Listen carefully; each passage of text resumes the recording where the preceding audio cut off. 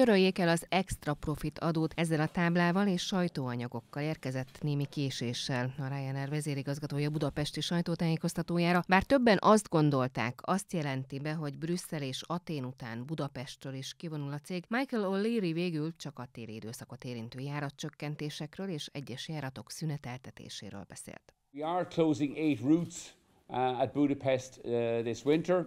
We are also going to reduce Uh, frequencies or weekly frequencies on another seven routes of the 45 routes that we operate uh, that we operated this summer. Hozzátette a jó hír, hogy nem zárják be a bázist, amelynek megnyitásáért, ahogy fogalmazott, keményen küzdöttek. A járatcsökkentésekkel Magyarországon 53-ról 45-re csökken a Ryanair járatainak száma. A légitársaság 4,5 millió utast szállított eddig évente, a várakozások szerint ez 4 millió alá esik az útvonalak törlésével. A légitársaság vezérigazgatója többször elmondta, nem érti, hogy miért a légitársaságokra kellett kivetni az extra profit adót, mivel az elmúlt két évben pont ezek a cégek voltak veszteségesek a járvány és az orosz-ukrán háború miatt. Michael O'Leary a sajtótájékoztatón elmondta, nincs kommunikáció köztük és a kormány között, noha az extra profit adót már több alkalommal bírálta a vezérigazgató. Az Index kérdésére, hogy mit üzen Nagy Márton gazdasági miniszternek, akivel korábban szóváltásba kerültek a média felületeken, azt mondta.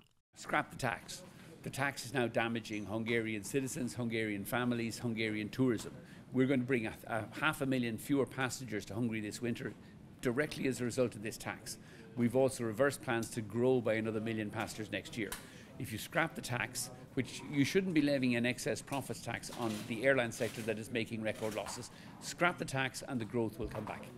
A cég 2023-ra 5 millió utassal tervezett, ez a terv a járatcsökkentések miatt vélhetően nem valósul meg. A vezérigazgató az Indexnek megerősítette, fellebbeztek a cégre kiszabott 300 millió forintos fogyasztóvédelmi bírság ellen, amelyet azért kaptak, mert az utasokra hárították a különadót. We don't plan to pay the fine. Uh, we've already appealing the fine at the local Hungarian courts, and then we will uh, run those appeals all the way to the European uh, courts, where it will, we will overturn the fine.